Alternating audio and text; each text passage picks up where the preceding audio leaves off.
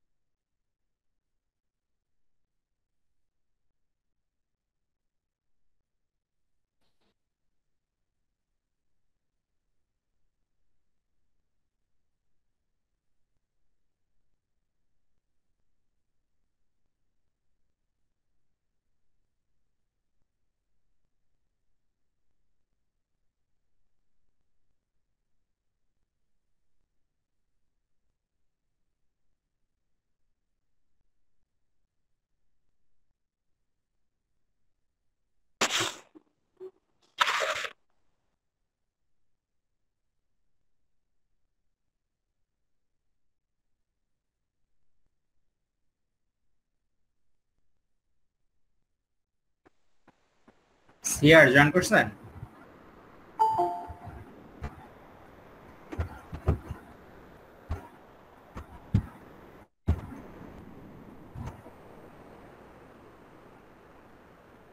আলাইকুম স্যার আপনি সিআর বলতেছেন? জি স্যার আচ্ছা সাহেব। তাহলে ক্লাসটা শুরু করি নাকি? স্যার দু এক দেখ স্যার। পনেরো পর স্যার আর দুই মিনিট স্যার। আচ্ছা আচ্ছা। জয়েন করতেছি স্যার। না ওই বেশিক্ষণ নেব না তো মাত্র পাঁচ দশ মিনিট। আজকে যেহেতু প্রথম ক্লাস ইন্ট্রোডাক্টরি আর তারপর সেশনাল ক্লাস পাঁচ দশ মিনিট ক্লাস নিয়ে শেষ করে দেবো ক্লাসটা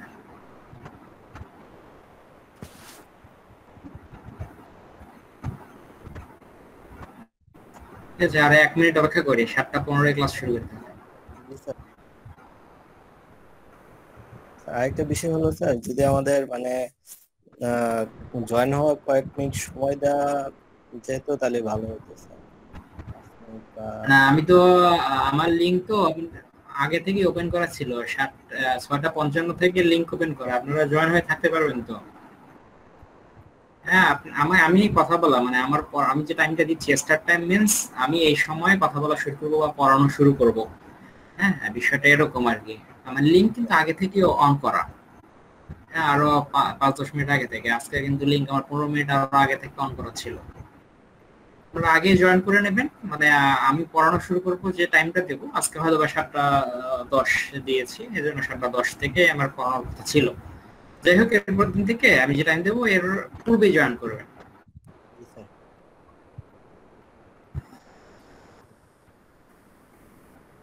যাই হোক আমরা শুরু করি। এখানে বাইশ জনের মতো আছি।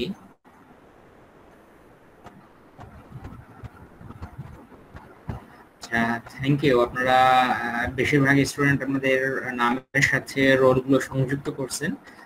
যে এক বা দুইজন আছেন, আপনারা অনুগ্রহ করব আপনারা যে গুগল যে অ্যাকাউন্ট দিয়ে আপনি আমার ক্লাসে জয়েন করছেন, সেখানে আপনার রোলটা সংযুক্ত করবেন at least last four digit মাত্র দুই তিনজনকে দেখতেছি যারা জয়েন করেননি, তারা ঠিকভাবে নামটা এডিট করে রোলটা সংযুক্ত করে দেবেন।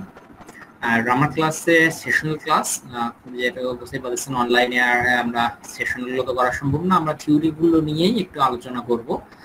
আজকে প্রথম ক্লাস হিসেবে আমরা জাস্ট শুরু করব আর কি, বেশি ডিটেলস করব না। যেহেতু আপনাদের থিওরি ক্লাসটাও মনে হয় সেভাবে শুরু হয়নি থিওরি ক্লাসের সাথে এটা রিলেটেড তো, সুতরাং থিওরি ক্লাসের বিষয়গুলোই আবার এখানে আলোচনা হবে। তো থিওরি ক্লাসটা একটু স্টার্ট হলে আমার সুবিধা হবে ক্লাসগুলো নিতে। আমি জাস্ট আজকে বেশি যে রিপোর্ট আপনারা জমা দেবেন, সে সম্পর্কে আজকে একটু আলোচনা করব। হয়তো এভাবে আলোচনা করা হবে না। প্রথম ক্লাস হিসাবে আমার ল্যাব রিপোর্ট যেটা হবে, সেটা কীভাবে জমা দেবেন, এখানে একটু জিনিসগুলো আপনাদের বোঝায় বলে সেরকম হচ্ছে যে আপনাদের প্রতিটা ক্লাস শেষে আপনাদেরকে আমি অ্যাসাইনমেন্ট দেবো। আজকে না পরবর্তী ক্লাস থেকে আপনাদের অ্যাসাইনমেন্ট দেওয়া হবে। আজকে প্রথম ক্লাস হিসেবে আমরা কিছু কিছু করব না তেমন কিছু। মানে পরবর্তী ক্লাসের আহ, যে যতটুকু অংশ পড়াবো এর উপরে আপনাদেরকে কিছু আমি প্রশ্ন দেবো। মানে যা পড়াবো এর উপরে। ওকে আপনারা মনে করেন যে আমি পরবর্তী ক্লাসটা নেওয়ার পরে আপনাদেরকে আমি দশটা প্রশ্ন দিলাম। আপনারা এই দশটা প্রশ্ন লিখবেন, পরবর্তী আপনাদের সময় থাকবে কীরকম অনেকদিন সময় পাবেন। কীরকম সময়? যেহেতু আমাদের একটা পয়েন্ট সেভেন ফাইভ ক্রেডিটের ক্লাস সেহেতু আপনি বুঝতেই পারতেছেন যে আমার একটা ক্লাস থেকে আরেকটা ক্লাসে প্রায় চোদ্দ দিনের একটা গ্যাপ তাহলে আপনাদেরকে যেদিন আমি অ্যাসাইনমেন্ট দেবো, ঠিক পরের ক্লাসে আপনাকে অ্যাসাইনমেন্টটা সাবমিট করতে হবে। সুতরাং এই সময়ের মধ্যে আপনি অ্যাসাইনমেন্ট লেখা শেষ করবেন। আমার ক্লাসে আমি লেট কোনো কিছুই কাউন্ট করব না। যেমন আপনারা আপনাদের app- আচ্ছা অ্যাটেন্ডেন্সের কথাটা বলে নেই। অ্যাটেন্ডেন্স কিন্তু আপনারা ইমেইলের মাধ্যমে পেয়ে যাবেন। অ্যাটেন্ডেন্স কীভাবে দিতে হবে, সেটা ইমেইলের মাধ্যমে আপনারা প্রশ্ন পেয়ে যাবেন কিছুক্ষণের মধ্যে। সেখানে আপনারা, আপনার অ্যাটেন্ডেন্সটা মানে নাম রোল লিখে অ্যাটেন্ডেন্সটা দিয়ে দেবেন সেখানে। সো অ্যাটেন্ডেন্সের ক্ষেত্রেও সেম ঘটনা। আপনাদেরকে যে ক্লাস টাইম মানে আমি অ্যাটেন্ডেন্সের ওখানে টাইম ঠিক করে দেবো, আপনারা এই টাইমের ভেতরে আপনার অ্যাটেন্ডেন্সটা দিয়ে দেবেন প্রতিদিন ক্লাসে লেট করা যাবে না কোনোটাতে। আর অ্যাসাইনমেন্টের ক্ষেত্রেও মেইন কথা যে অ্যাসাইনমেন্টে কোনো লেট সাবমিট করা যাবে না। তবে এখানে আরেকটা কথা আছে, সেটা হলো যে প্রতিটা প্রশ্নের উত্তর, মনে করেন যে আপনি এক নম্বর প্রশ্নের উত্তর লিখতেছেন লেখার পরে দেখা গেল যে চার পাঁচ লাইন লেখার পরে এক নম্বর প্রশ্নের উত্তর শেষ হয়ে গেল। মানে একটা পেজে অর্ধেকও লাগল না। এরপর আপনি অনেকে দেখা যাবে যে দুই নাম্বার প্রশ্ন একে নিচ থেকে শুরু করবেন। এই কাজটা করবেন না আমার সাবজেক্টে ঠিক আছে? মানে ল্যাব রিপোর্টের ক্ষেত্রে এই কাজটা করবেন না। আপনি পরবর্তী প্রশ্নের উত্তর আরেকটা পেজের প্রথম থেকে লিখবেন। ওকে মানে বিষয়টা এমন যে আপনাকে প্রতিটা প্রশ্নের উত্তর একটা পেজের প্রথম থেকে শুরু করতে হবে। মানে একটা প্রশ্ন শেষ হয়ে গেল তার নিচে একটু জায়গা আছে বা সেখান থেকে শুরু করবেন না। হ্যাঁ, তাহলে আমার জন্য আপনাদেরকে খাতায় মার্কিং করাটা সহজ হবে। এই কাজটা করবেন না আর আমি খুবই কম পড়াবো, যখন দেখবেন আপনারা ক্লাসে তো যতটুকু যে কয়টি প্রশ্ন দেই না কেন, আপনারা সবগুলোই লিখবেন। আমি হয়তো সম্ভবত আপনাদেরকে বিশটার মতো প্রশ্ন অ্যাসাইন করব, সবগুলো মিলে। মানে আমার এই পুরো কোর্সে এই মাত্র বিশটা প্রশ্ন লেখার জন্য আপনি অনেকদিন সময় পাবেন। সো বুঝতেই পারতেছেন? কিন্তু এখানে দেখা যায় যে অনেকেই ইরেগুলার থাকার কারণে এই অ্যাসাইনমেন্টের প্রশ্নগুলো যখন ফাইনালি রিপোর্ট জমা দেন, তখন দেখা যায় যে ইচ্ছাকৃত ভাবে আপনারা মাঝের দিকের প্রশ্ন লেখেন না স্কিপ করেন। এই ক্ষেত্রে দেখা যায় আমি তাদেরকে পাশ করাই না তাদেরকে আমি পাশ করাবো না, এটা আমি প্রথম ক্লাসে বলে দিচ্ছি। যারা রিপোর্টে ফাঁকি দেবেন, তাদেরকে আমি পাশ করাবো না। হ্যাঁ? সো আপনাকে রিপোর্টটা এই জন্য যা প্রশ্ন দেবো, সকল প্রশ্নের উত্তর আপনি স্লাইডে পাবেন, ঠিক আছে? স্লাইড থেকে দেখে দেখে লিখবেন, আপনাদেরকে আমি যথেষ্ট সময় দেবো। তো আশা করি এই বিষয়টা আপনারা ক্লিয়ার আছেন যে আপনাকে সবগুলো, আমি যে কটা প্রশ্ন দিই, সবগুলো প্রশ্নের উত্তর আপনাকে লিখতে হবে। ইচ্ছাকৃত বা অনিচ্ছাকৃত কোনোভাবেই আপনাকে কোনো প্রশ্নের উত্তর স্কিপ করা যাবে না। ওকে যেহেতু সবগুলো প্রশ্ন উত্তর স্লাইডে থাকবে স্কিপ করার কোনো প্রশ্নই আসে না। এবং আরেকটা বিষয় কি, যাতে আমি সহজে কাউন্ট করতে পারি যে হ্যাঁ আপনি সবগুলো প্রশ্নের উত্তর লিখছেন কিনা, এই সুবিধার্থে আপনাকে অবশ্যই প্রতিটা প্রশ্নের উত্তর শুরু করতে হবে একটি পেজের প্রথম থেকে। মানে এক নম্বর প্রশ্ন শুরু করলেন, এক নম্বর প্রশ্ন লিখতে আপনার তিন পেজ, চার পেজ সাপোজ কথা যে আপনি তিন পেজ বা চার পেজ এরকম লাগল, সমস্যা নেই। আবার পরবর্তী যখন প্রশ্ন শুরু করবেন, এক নম্বর যেখানে শেষ হয়েছে, পেজের নিচে যত বড় ফাঁকা থাকুক না কেন, আপনি দুই নম্বর প্রশ্ন আরেকটা পেজের শুরু থেকে শুরু করবেন ওকে তাহলে এই ছিল মেন বিষয়। এই এটা বুঝতে কারও সমস্যা হচ্ছে কোনো বিষয়ে, এখানে আমি যতটুকু বললাম জাস্ট এটা ফলো করবেন, আমার সাবজেক্টে ওকে আপনি ফুল মার্কস ক্যারি করতে পারবেন। মানে অ্যাসাইনমেন্ট দিলে আপনাকে আমি মানে এখানে মার্কস যেহেতু আমার অ্যান্সারগুলো আপনার স্লাইডে থাকবে, আপনার তো আমি মার্কস কাটার কোনো স্কোপ নাই। কিন্তু আপনি যখন গ্যাপ দেবেন, আমি আপনাকে পাস করাবো না, এটা আমি প্রথম ক্লাসে করে দিচ্ছি। অ্যাসাইনমেন্টের যে রিপোর্টটা থাকবে যে রিপোর্টে কোনো ফাঁকি দেওয়া যাবে না। সিআর আপনি কি আমার কথাগুলো বুঝতে পারছেন? জি স্যার বুঝতে পারছি স্যার। হ্যাঁ, কোনো প্রশ্ন আছে এটা নিয়ে? কোনো হ্যাঁ, না স্যার প্রশ্ন আছে আচ্ছা ঠিক আছে। এখানে নিয়ম কঠিন কঠিনের কিছু নাই কেননা আপনারা সম্ভবত আমার সাথে কোনো ক্লাস পাননি এখানে নিয়মাবলী বা এটা দেখে কারও কঠিন মানে আমাকে মনে হওয়ার কোনো কারণ নেই যে স্যার অনেক করা বা কঠিন টুল ধরাই দিচ্ছেন, এরকম কিছু না। জাস্ট আমার যদি মার্কিং বা আমার হিসাব নিকেশ আপনাদের মার্ক করাটা ইজি হয়, আপনাদের, আপনারা ভালো মার্কস ক্যারি করতে পারেন। এই সুবিধার্থে আমি আপনাদের প্রথম ক্লাসে এই ইনস্ট্রাকশনগুলো দিয়ে দিলাম, প্রতিদিন হয়তো বলব না। আর আজকের ক্লাসে আপনাদের সাথে আমার এই সাবজেক্ট যেটা আছে, সেই সাবজেক্টটি কনভিকশন বয়েলিং কন্ডেনসেশন আর মাস ট্রান্সফার সেশনাল ওকে মানে আমরা হিট ট্রান্সফার যে সাবজেক্টটা আছে, এই হিট ট্রান্সফার সাবজেক্টে মানে স্লাইড কিছু নাই জাস্ট বেসিক ইন্ট্রোডাক্টরি কথাবার্তা আর কি হ্যাঁ? জাস্ট শুনেন কথাবার্তা আজকে। আমরা পরবর্তী ক্লাস থেকে কিছু heat exchanger related problem solve করার চেষ্টা করব। আজকে জাস্ট মানে হিট ট্রান্সফারটা কি, কীভাবে হয়, কেন হয় মানে বিভিন্ন নাম্বার টাম্বার যেগুলো আছে, এগুলো নিয়ে জাস্ট ডিসকাস করি। আপনারা আমার সাথে রেসপন্স করেন ওপেন ডিসকাশন আর যা আপনারা বুঝবেন না, আমাকে প্রশ্ন করবেন, আর আজকে যা পড়াবো বা দিন ক্লাসে যা পড়াবো, কোনো কিছু যদি বুঝতে না পারেন, পরবর্তী ক্লাসের প্রথম প্রথম পাঁচ দশ মিনিটের মধ্যে আমাকে সেগুলো প্রশ্ন করতে পারবেন। আর যে কোনো প্রবলেমে মানে আপনারা যদি কোনো কিছু নিয়মাবলী বা অন্য কোনো আদার্স কোনো প্রবলেম ফেস করেন অনেকে দেখা যায় যে আপনারা সিআর সাথে আগে সেই বিষয়গুলো ডিসকাস করবেন যে সিআর আসলে আপনাকে ইনফরমেশন দিতে পারতেছে কিনা, ঠিক আছে? আপনারা সিআর কাছে অ্যাপ্রোচ করবেন, যদি সিআর সমাধান দিতে না পারেন দেন আমার কাছে ওকে যেটা বলতেছিলাম যে আমরা এটা যেটা হিট ট্রান্সফার করতেছি এটা হলো হিট ট্রান্সফার টু আপনারা অলরেডি হিট ট্রান্সফার ওয়ান করে আসছেন তাই না সিআর জি স্যার। আচ্ছা। তো সেখানে আহ, সেখানে আপনারা কন্ডাকশন এবং রেডিয়েশন করে আসার কথা। ঠিক আছে? আর আমরা এখানে করতেছি মেনলি করব convection boiling condensation and mass transfer তো হিট ট্রান্সফার কেন হয় বলতে পারেন? Heat transfer main driving force কি? মানে আপনাকে যদি জাস্ট প্রশ্ন করা হয় যে হিট ট্রান্সফারের ড্রাইভিং ফোর্স কি? Sir, temperature difference. Temperature very good very good temperature difference আমার জাস্ট টেম্পারেচার ডিফারেন্সটা লাগবে এই হিট ট্রান্সফারের জন্য। আর আমরা সাধারণত বলে থাকি যে হিট ট্রান্সফার যে মোড আছে মানে আমরা যে conduction convection mode of heat transfer বা টাইপস অফ হিট ট্রান্সফার বা ক্লাসিফিকেশন অফ হিট ট্রান্সফার এভাবে আমরা নামকরণ করতে পারি। তো আমরা যেটা কন্ডাকশন বলি কন্ডাকশন জিনিসটা কি? একটু বলেন দেখি উদাহরণের মাধ্যমে যে এটা কন্ডাকশন বা কন্ডাকশন আমার এভাবে হয় হিট ট্রান্সফারে এটা পুরো আসছেন রিসেন্টলি পুরো আসছেন কন্ডাকশন কন্ডাকশনে স্যার হিট ট্রান্সফারটা হয় যে যেটা হিট কন্ডাক্টর থাকে সেখানে মলিকিউলগুলো আহ, আহ, তাদের ডিসপ্লেসমেন্ট হয় না কিন্তু রেদার তারা তাদের পার্শ্ববর্তী যে মলিকিউলগুলো আছে সেখানে তারা এই হিটটা ট্রান্সফার করতে থাকে। কিন্তু কোনো মলিকিউল হচ্ছে ডিসপ্লেসমেন্ট করে না। ভেরি গুড রেডিয়েশনটা কি ছিল আমাদের? মলিকুলগুলার ডিসপ্লেসমেন্ট করবে। স্যার রেডিয়েশনে বেসিক্যালি কোনো মিডিয়াম অফ কন্ডাক্টর থাকে না। রেডিয়েশন হচ্ছে উইদাউট মিডিয়াম হিট ট্রান্সফার এটা আমাদের কোনো মিডিয়ামের দরকার নাই। এটা আসলে একটা ওয়েভের মাধ্যমে আমরা সেটাকে বলতেছি ইলেকট্রোম্যাগনেটিক ওয়েভের মাধ্যমে আমার এনার্জিটা ট্রান্সফার বা হিট ট্রান্সফার হচ্ছে এবং এখানে আমার কোনো মাধ্যমের প্রয়োজন নাই। আর কন্ডাকশন যেটা বললেন হ্যাঁ, ঠিক আছে হান্ড্রেড পার্সেন্ট ওকে যে আমাদের এখানে মলিকুলগুলোতে যে স্থানগুলো পরিবর্তন করবে না জাস্ট একটা পার্টিকেল আর পাশের পার্টিকেলকে সে হিট ট্রান্সফার করবে সে আবার পাশের পাশেরটাকে সে পাশেরটাকে এভাবে আর কি জিনিসটা যাবে। আর কনভেকশন আসেন কনভেকশন জিনিসটা কি আইডিয়া আছে কোনো? কনভেকশন যেটা আমরা আজকের টপিক আমাদের। কনভেকশনে বেসিক্যালি মলিকিউলগুলো ট্রান্সফার করে যেমন হচ্ছে আমরা যখন পানি বয়লিং করি ওই সময় দেখা যায় যে বয়লিং একদম নিচে সারফেস থেকে হচ্ছে পানি উপরে যায় মানে প্রত্যেকটা পার্টিকেল আবার এভাবে ঘুরতে ঘুরতে হিটটা ট্রান্সফার করে। ঠিক আছে ভেরি গুড যে আমাদের এখানে একটা মাধ্যম থাকবে যে বা ফ্লুইড থাকবে, সেই ফ্লুইডটা আমার হিটটাকে ক্যারি করে নিয়ে যাবে। এক স্থান থেকে ফ্লুইডটা ক্যারি করে আরেক স্থানে নিয়ে যাবে।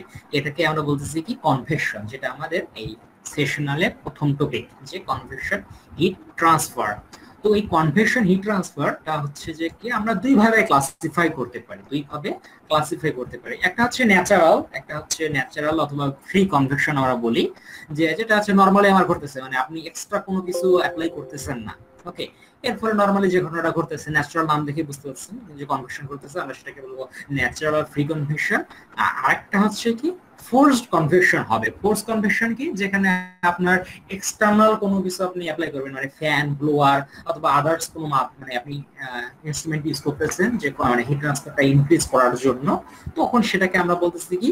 ফোর্সড কনভেকশন ঠিক আছে? এক্ষেত্রে কনভেকশনের যে সূত্রটা আছে, এই সূত্রটা আমরা পাই নিউটনস ল অফ কুলিং থেকে। নিউটনস ল অফ কুলিং থেকে আমরা কনভেকশনের যে হিট ট্রান্সফারটা আছে, এটা আমরা ক্যালকুলেশন করে বের করতে পারব।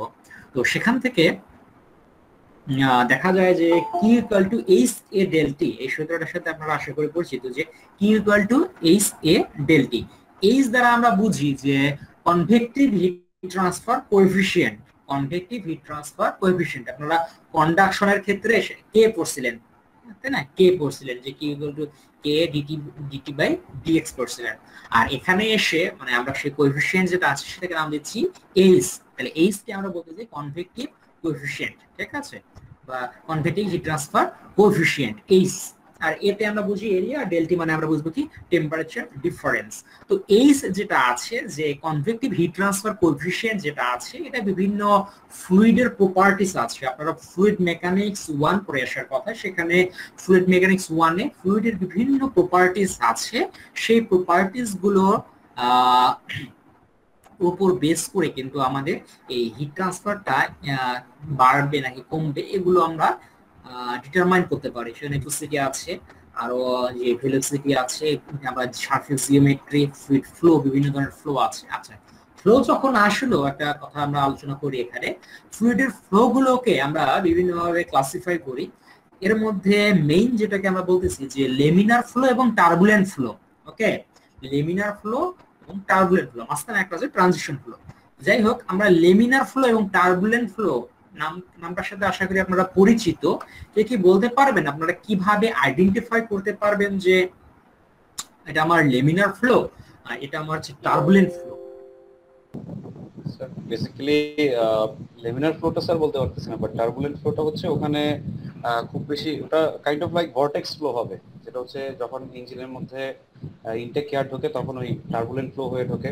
অথবা নর্মালি কোথাও থেকে যখন স্মোক যায় আমি যদি একটা সিগারেটের উদাহরণ দিই তাহলে একদম শেষের দিকে যেখানে স্মোকটা ডিসেপিয়ার হয় সেখানে টার্বুলেন্ট ফ্লোটা দেখা যায়।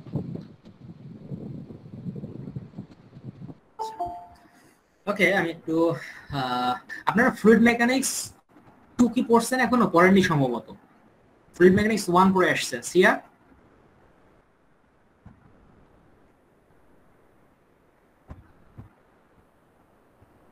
সিয়ার কি লিমিসেন আচ্ছা যাই হোক। না স্যার ফ্লুইড মেকানিক্স টু পড়া হয়েছে গত সেমিস্টারে হ্যাঁ হ্যাঁ হ্যাঁ সেখানে সেখানে আপনাদের লেমিনার ফ্লো এবং টার্বুলেন্ট ফ্লো নিয়ে কিছুটা আলোচনা করার কথা। যাই হোক আমি একটু আলোচনা করে দিই। লেমিনার ফ্লো মিনস হচ্ছে যে আপনার কি বলব এটাকে? মানে শান্ত টাইপের আর কি, যে সে নর্মালি ফ্লো হচ্ছে। আর আমরা যেটা টার্বুলেন্ট ফ্লো বলি টার্বুলেন্ট মানে হলো জিগজাগ ওয়েতে মানে পার্টিকেলগুলো নির্দিষ্ট কোনো অর্ডার মেনে চলবে না। ঠিক আছে? যে একটা পার্টিকেল একবার এদিকে, একটা এদিকে। ঠিক আছে? বিভিন্ন দিকে সে এলোমেলো জিগজাগ ওয়েতে যখন মোশনগুলো চলাফেরা করতেছে নির্দিষ্ট কোনো পার্ট যে পার্টিকেলগুলো আছে, এগুলো নির্দিষ্ট কোনো অর্ডার মেনে চলবে না। তখন আমরা সেই পার্ট নাই, সেই ফ্লুইডের ফ্লোটাকে বলব টার্বুলেন্ট ফ্লো আর ফ্লুইডের পার্টিকেলগুলো যখন একটা নির্দিষ্ট অর্ডার মেনে চলে, তখন আমরা সেটাকে বলি লেমিনার ফ্লো আচ্ছা যাই হোক কাছে থিওরিটিক্যালি আর কি এই ধরনের কথাবার্তা। কিন্তু আমরা যখন প্রবলেমগুলো মানে ম্যাথমেটিক্যাল কিছু প্রবলেম সলভ করি, এক্ষেত্রে আমাদের ভ্যালুর মাধ্যমে আমরা সেগুলোকে ডিটারমাইন করব। মানে আমরা তো চোখের দেখায় আসলে সহজে বুঝতে পারব না যে আমার এখানে হ্যাঁ আমার এখানে ফ্লুইডের ফ্লোটা হচ্ছে লেমিনার ফ্লো বা আমার এখানে টার্বুলেন্ট ফ্লো আমরা আসলে যেহেতু চোখের দেখেন না আমরা যেহেতু ইঞ্জিনিয়ারিং আমরা, তাহলে আমরা মানে একবারে একুরেট অ্যান্সার দেব যে আসলেই আমার এখানে ফ্লোটা কি ফ্লো হচ্ছে। তাহলে এক্ষেত্রে আমরা প্রথমে রেনল্ডস নাম্বার হ্যাঁ এই নাম্বারটা সম্পর্কে কারও ধারণা আছে যে রেনল্ডস নাম্বারটা কি? নামটা শুনছেন কি?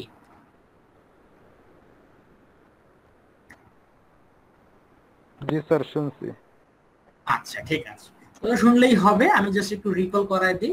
রেনল্ডস নাম্বার মানে বইয়ে যে একবারে মুখস্থ বিদ্যা, সেটা হলো যে ইনার্শিয়া ফোর্স বা ভিস্তাস ফোর্স এরকম একটা ডেফিনেশন দেওয়া আছে বইয়ের। আচ্ছা থাক, সমস্যা নেই।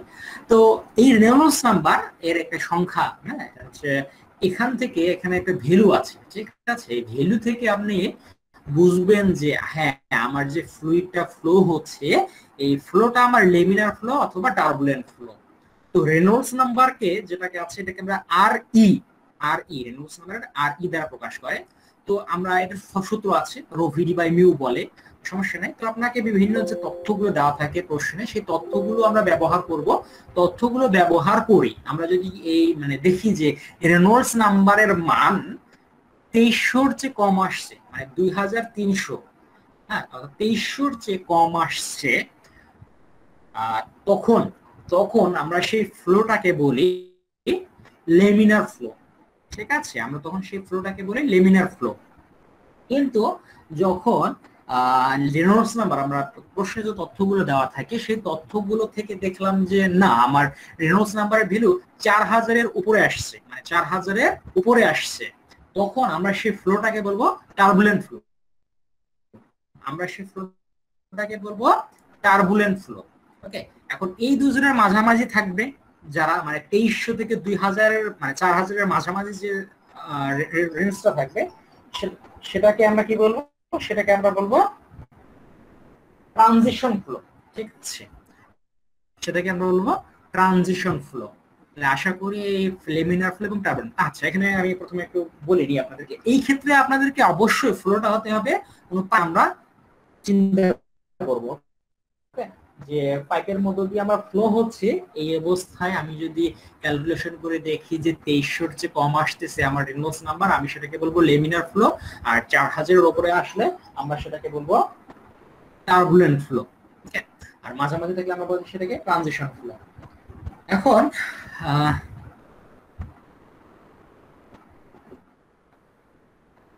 এখানে সাবজেক্ট অনেকটা আপনাদের ফ্লুইড মেকানিক্স এর সাথে রিলেটেড তো যে বাউন্ডারি লেয়ারে কিছু কথা আছে। বাউন্ডারি বাউন্ডারি লেয়ার পড়ে আসছেন আপনারা বা ভেলোসিটি এছাড়া velocity profile laminar flow turbulent floor velocity profile এগুলো পড়ে আসছেন মানে ফ্লুইড মেকানিক্স ওয়ানে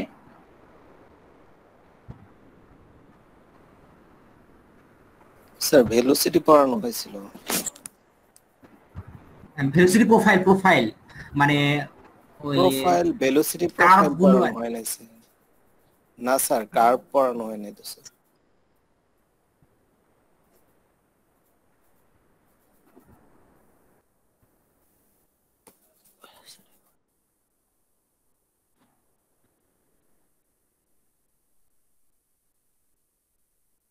আচ্ছা, যাই হোক।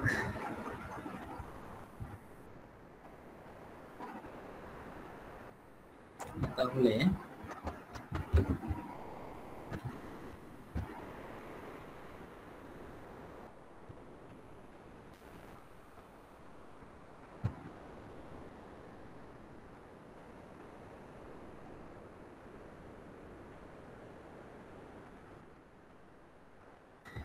এই টাইপের কার্ভগুলো পড়ছেন? সিআরএফ দেখেন তো এগুলো এই টাইপের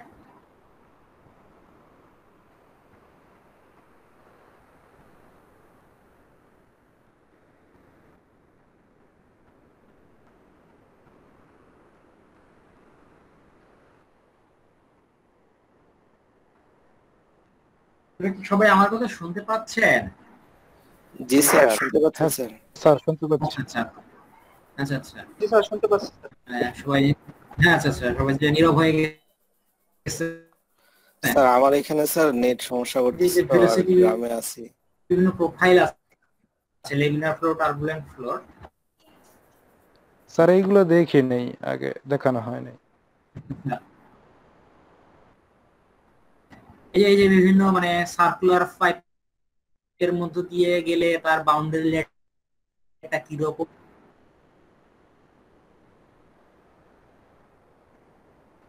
আচ্ছা মেকানিক্স এর তো?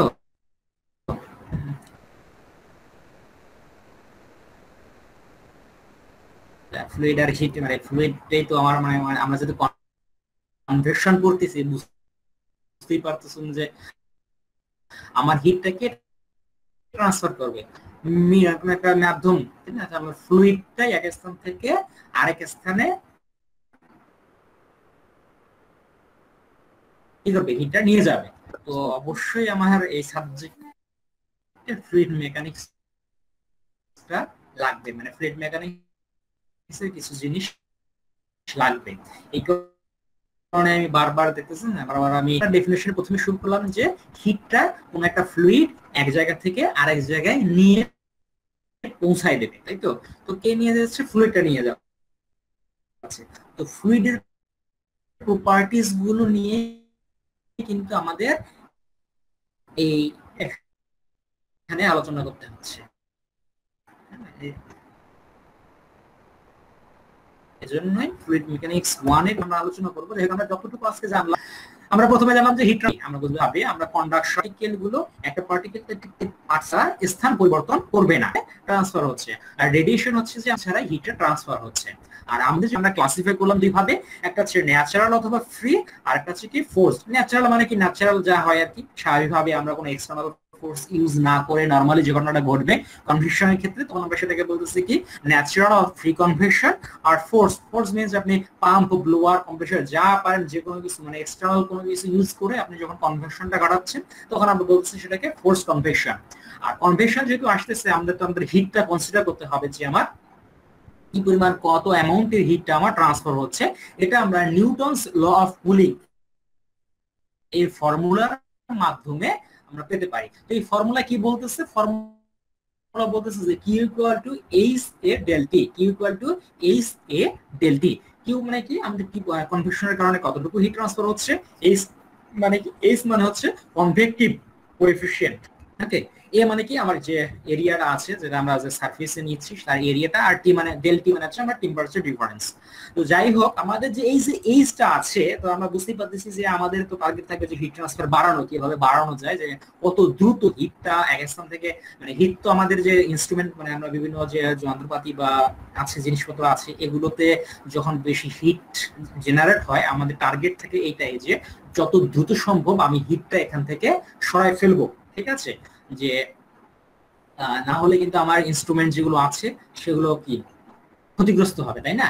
এটাই কিন্তু আমাদের, তখন আমরা দেখা যায় যে বিভিন্ন হিট এক্সচেঞ্জার ইউজ করি, তাই না? তো কীভাবে, কত দ্রুত, কীভাবে আমি এই হিটটাকে সরাই নিতে পারি? যত দ্রুত নিয়ে যাব, তত আমার ভালো, তত আমার ইফিসিয়েন্সি বাড়বে, তাই না? তো কীভাবে আমি এই হিট ট্রান্সফারটা বাড়াইতে পারি? কনভেক্টিভ হিট ট্রান্সফারটা বাড়াইতে পারি, এর জন্য দেখা যায় যে আমরা সেটা এইচ এর ভ্যালু বা এরিয়া বা টেম্পারেচার ডিফারেন্স এগুলো তো আছে। নিচের দিকে আমরা দেখতে পাচ্ছি যে এইচটা কিসের কিসের উপর? এইচ বলতে আমরা কি বললাম? যে কোএফিসিয়েন্টটা আমরা যে কিসের কিসের উপর ডিপেন্ড করতে পারে, যে ফ্লুইডের প্রপার্টিস এর উপর। নিচের দিকে আপনাদের দেওয়া আছে যে ফ্লুইডের কি কি প্রপার্টিস এর উপর আমরা ডিপেন্ড করে একটু দেখে নেবেন।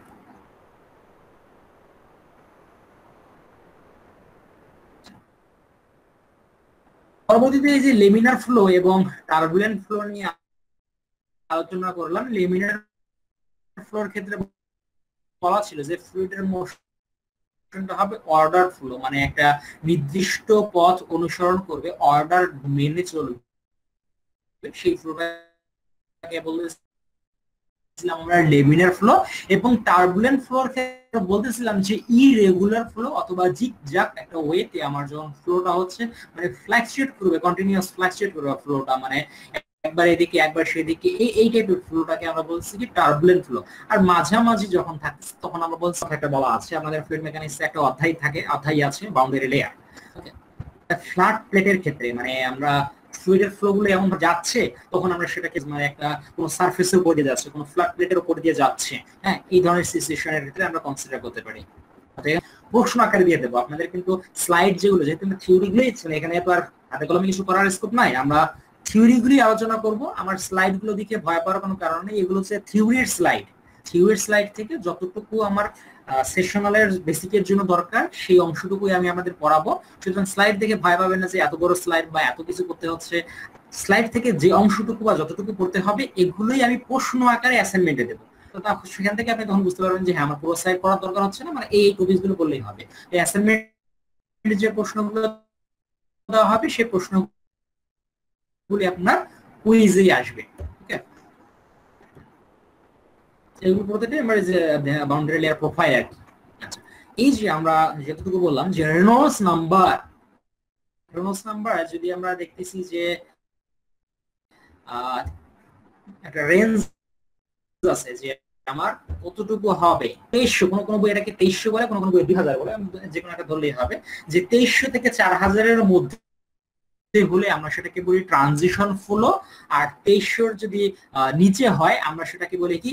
লেমিনার ফ্লো চার হাজারের উপরে হলে টার্বুলেন্ট ফ্লো মাঝামাঝি হলে বলব আমরা ট্রানজিশন ফ্লো বলব। আচ্ছা এটা কার ক্ষেত্রে ছিল? এটা কিন্তু রেঞ্জটা কিন্তু আমার টিউবের ক্ষেত্রে, ঠিক আছে? বা পাইপের ক্ষেত্রে, পাইপের ভেতর দিয়ে যখন আমার এইরকম মানে তেইশশো, চার হাজার বা এদের মাঝামাঝি রেঞ্জগুলো কিন্তু এরকম ভাবে মানে কোন একটা আবদ্ধ কোনো কিছুর ভেতর দিয়ে আমার ফ্লো হচ্ছে, তখন আমার রেনল্ডস নামের রেঞ্জ হলো এরকম।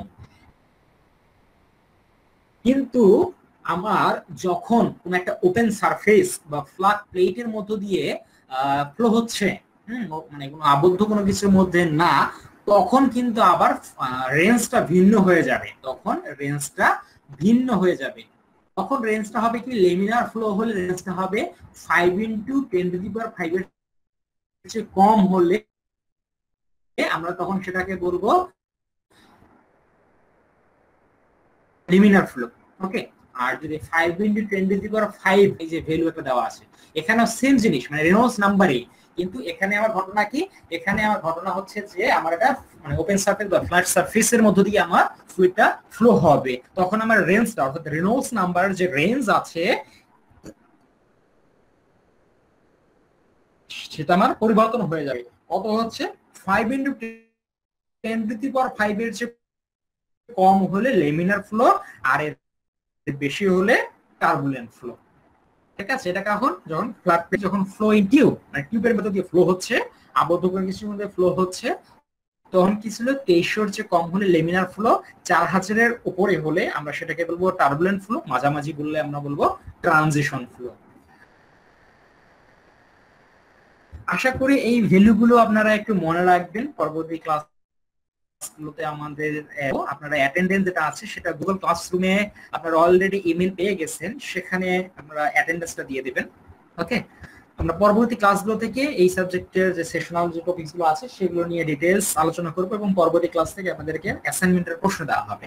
সিআর আমাকে শুনতে পাচ্ছেন? সিআর ওনার নেটওয়ার্কের সমস্যা। কিছু আচ্ছা আচ্ছা আচ্ছা। তাহলে আচ্ছা আপনাদেরকে আমি বলি যে কারও কোনো সমস্যা আছে? আজকে যতটুকু আলোচনা করলাম কারও কোনো বুঝতে সমস্যা আছে? না স্যার। আচ্ছা। না থাকলে কোনো সমস্যা নেই। আপনারা আর অ্যাটেন্ডেন্সটা দিয়ে দেবেন গুগল ক্লাসরুমে আর যদি কোনো সমস্যা থেকে থাকে পরবর্তী ক্লাসের শুরুতেই আমাকে সেগুলো ইনফর্ম করবেন। তাহলে আজকে ক্লাসটা এই পর্যন্তই। থ্যাংক ইউ আসসালামু আলাইকুম স্যার।